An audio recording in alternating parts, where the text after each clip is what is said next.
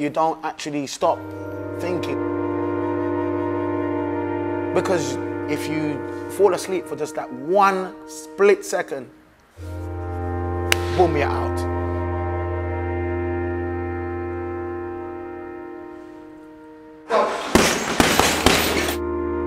It's a horrible trait in my character. If there's something that can be turned into a game or somebody can be proven to be better than somebody else, I love to compete.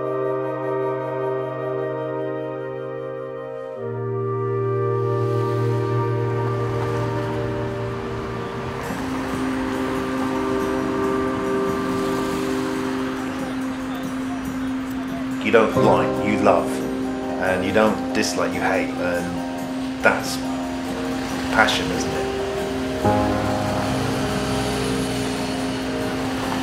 You can do what everyone expects you to do, or do what everyone else does, or you can try to think of something different, something of your own to do.